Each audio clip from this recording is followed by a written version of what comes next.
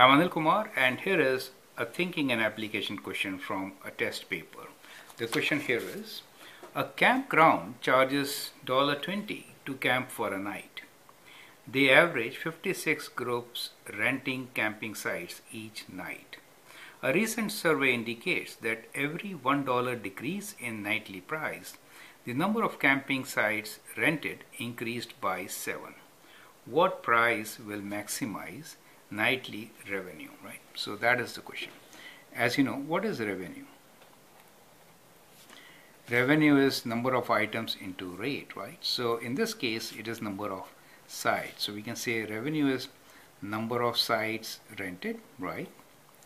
Times the rate at which they are being rented. So that is what revenue is. It is product of these two, right?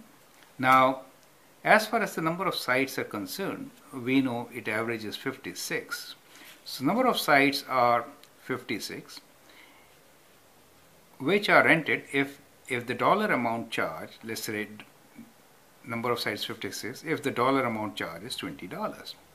Now it says for every decrease in $1, that means if I do minus 1, that means $19, right?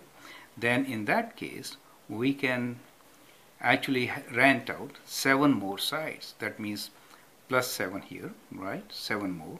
So it becomes 63. Another dollar decrease, that means if the rate is $18, then we can rent seven more. That means 70. So like this, the pattern is followed. So if you observe this pattern, then if there are n dollars decrease, that is to say, if we do it n times, this is 1 times, 2 times and so on, then charges will be 20 minus let us say n times we decrease dollar. In that case, 7 times n will be the number of persons or renting sites will be increased to, right? So it will be 56 plus 7n. So in general, the re revenue will be product of these two. So we can write revenue function as number of sites rented 56 plus 7 times n units decreased in the price in dollars, right? So it is 20 minus n. So that is that is what you get as a relation, correct? So now let's read this.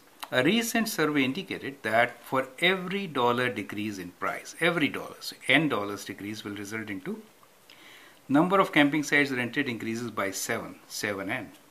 That's the whole idea, right? So the revenue function can be written as 56 plus 7n times 20 minus n. Now the question is, what price will maximize nightly revenue? Now to maximize this function, we know these two we can give us two intercepts, n intercepts. And midway will tell you the axis on which the maximum can occur, correct?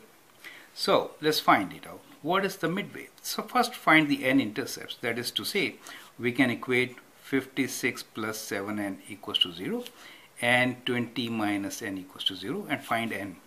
So here we get 7n equals to minus 56 n equals to minus 56 divided by 7 which is minus 8. In this case we get n equals to 20 right. So these are the two values for which the revenue is 0 right. So right in the middle of those two values, we should get the maximum. So the axis, let me now write down, axis is how much? So axis is midway. So midway means minus 8 plus 20 or should write 20 plus 8 divided by, I mean 20 plus minus 8. Add them divide by 2. So let me write minus 8 like this, since this is minus 8 add them divide by 2 which is 12 divided by 2 equals to 6 that means for a $6 decrease we should get a maximum right? So let's find the revenue when it is $6 decrease right? What price will maximize the nightly revenue? It's only asking for price. So in this case price is the rate. Let me call this as a price right? So in our case the price which will maximize the revenue is 20 minus n, where n is 6, right? So it is 20 minus 6, that is $14, right? You can also find maximum revenue by substituting 6 here. So you get 56 plus 7 times 6, correct? Times, you know, 20 minus 6. So that will give you the maximum revenue in dollars, correct? So that will be in dollars. But in any case, now we know the rate and we can write down our answer that the rate will be dollar 14. Correct? So that is how this question should be done. Now take care. Sometimes they may ask you what is the maximum revenue. In that case, you need to solve for revenue. Okay, that is how you should be doing it. I hope that is clear. Thank you and all the best.